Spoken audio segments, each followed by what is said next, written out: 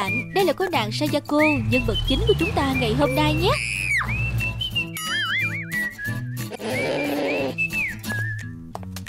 Còn anh chàng lịch lãm kia chính là Ken các bạn ạ. Hình mẫu người yêu lý tưởng của mọi cô gái phải không nào?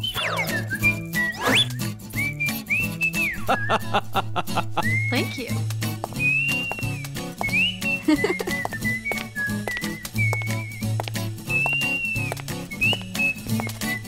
Hôm nay, Ken sẽ ngỏ lời cầu hôn Rapunzel nhé.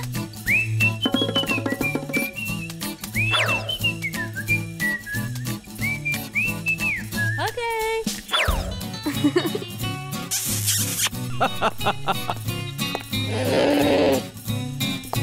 Ken đưa Rapunzel đến một cửa hàng váy cưới sang trọng. Cả hai vui vẻ chọn đồ. Hello. Nice. Thank you. Ôi nhìn kìa, Sayako để giả làm tên trộm và cướp chiếc váy đi mất rồi.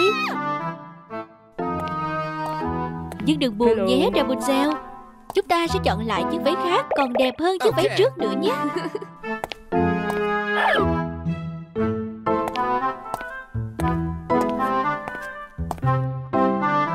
Ôi không, lại là tên cướp đó nữa sao?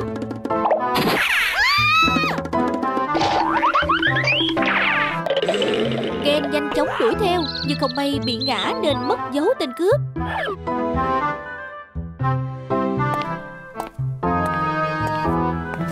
Lần này Ken quyết định sẽ đặt nhà thiết kế may riêng cho Rapunzel chiếc váy cưới thật lộng lẫy Okay. Hello. Hello. Chiếc váy sẽ ôm sát ở phần thân trên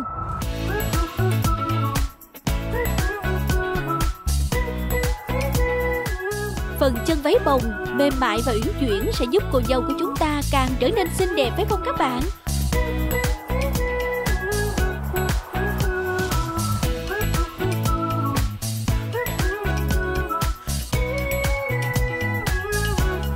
Cùng điểm tô những sắc hồng ngọt ngào cho chiếc váy nào các bạn ơi!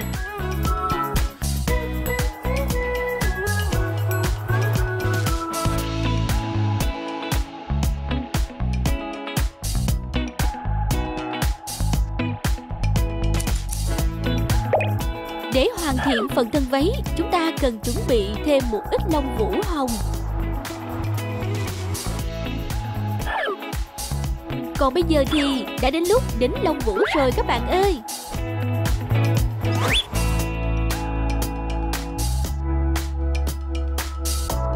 Đính thêm những hạt lấp lánh lên phần áo và cổ váy nữa nhé.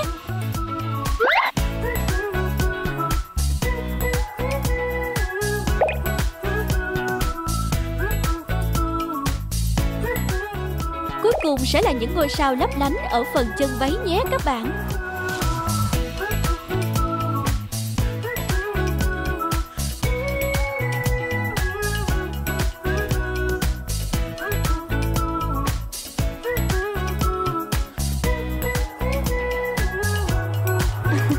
Rapunzel ơi, nhanh chóng thử váy thôi nào.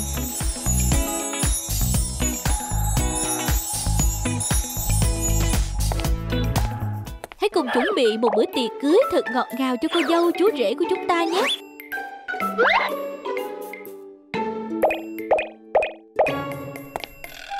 Wow, Ken và Rapunzel thật là đẹp đôi phải không các bạn?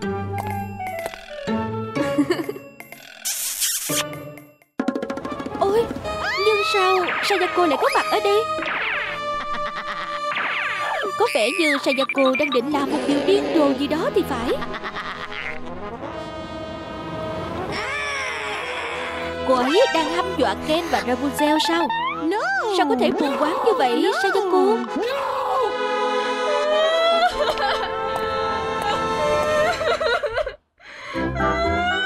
Tình yêu chỉ có thể bền chặt nếu hai trái tim cùng chung nhịp đập. Chúc cô gái sẽ tìm thấy hạnh phúc của đời mình nhé.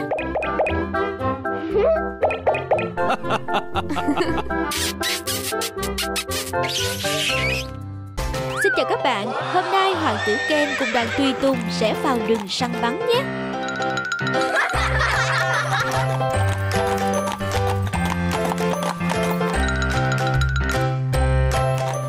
hình như hoàng tử đang rất vui thì phải. À Một con thỏ. Ken sẽ không dễ dàng để cho nó thoát đâu.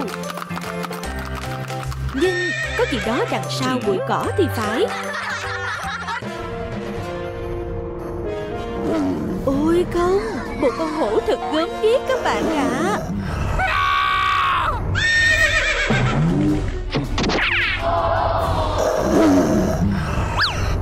Kẻ ơi Hãy dùng cung tên để bảo vệ mình đi nào.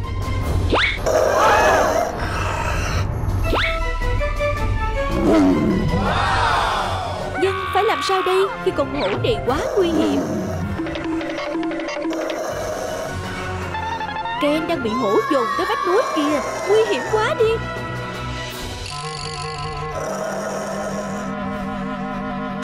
Ôi, Ken đã ngã mất rồi.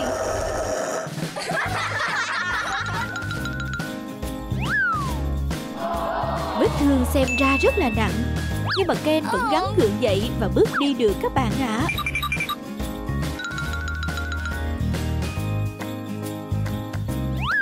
Tới một căn nhà gỗ rất đẹp. Nhưng lời đề nghị được giúp đỡ của hoàng tử đã bị từ chối rồi.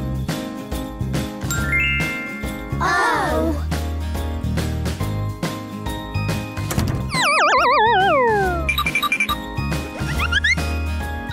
Đi tiếp thì đến một nông trại màu đỏ. Và kết quả thậm chí là còn tồi tệ hơn nữa.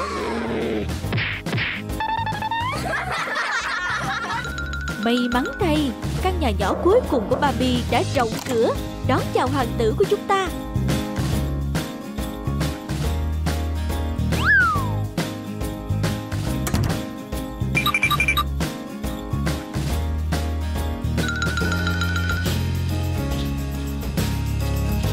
Barbie đã chủ động chăm sóc vết thương cho Ken các bạn ạ. À.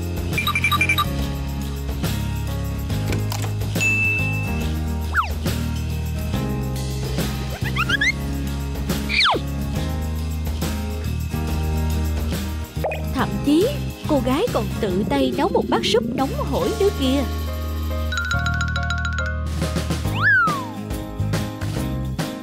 Wow.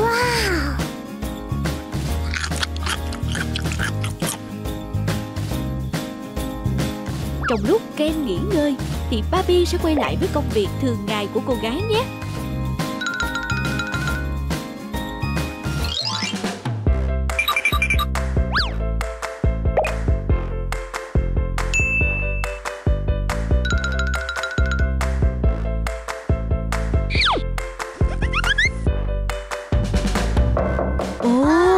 tiếng gõ cửa. Thì ra là đoàn tùy tùng của hoàng tử. Hãy nhanh chóng trở về cung điện thôi nào, hoàng tử ơi. Ken đưa mắt tìm quanh Và quyết định sẽ cầm theo đôi giày của Barbie để làm tin.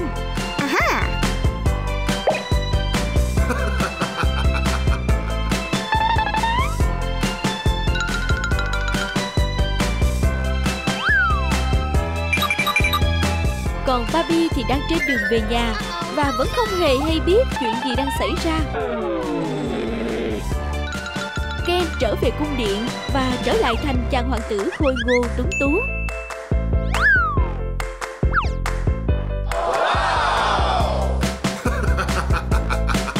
Một bữa tối thịnh soạn đã được bày biện sẵn, Nhưng chỉ có duy nhất món súp của Barbie là đặc biệt hơn cả thôi. Trong tâm trí Ken lúc này, Chỉ có hình bóng Barbie mà thôi. Cũng chính vì thế mà chàng hoàng tử khôi ngô của chúng ta đã quyết định lên đường các bạn ạ. Nhưng liệu Ken có gặp được Barbie không nhỉ?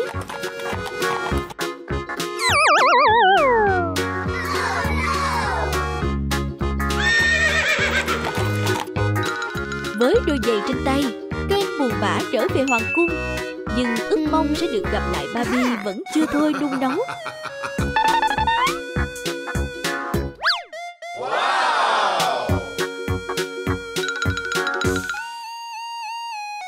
Nhận được lệnh của hoàng tử, Những người tùy tùng đã nhanh chóng đi khắp vương quốc dán thông báo.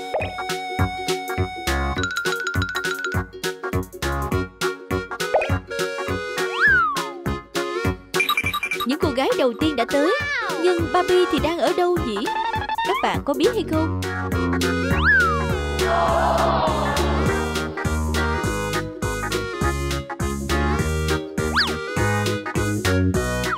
Ba cô gái, ba đôi chân Nhưng không có ai là chủ nhân đích thực của đôi giày cả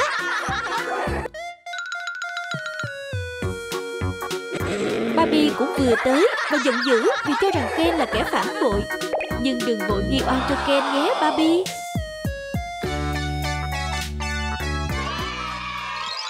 Các bạn ơi, hãy thiết kế một chiếc váy cưới công chúa thật đẹp thay lời chúc hạnh phúc gửi đến Ken và Barbie nhé.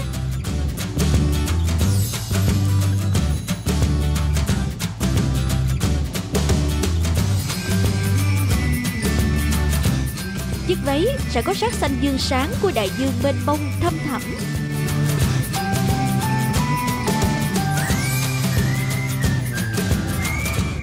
Kết hợp với sắc hồng ngọt ngào và dịu dàng nữa nhé. Riêng tà váy sẽ mang cả bảy sắc màu rực rỡ của cầu vồng.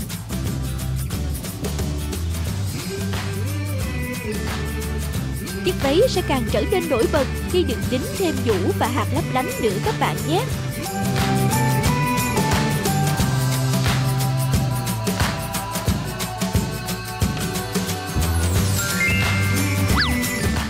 Còn bây giờ thì hãy nhanh chóng thay trang phục thôi công chúa Barbie xinh đẹp ơi.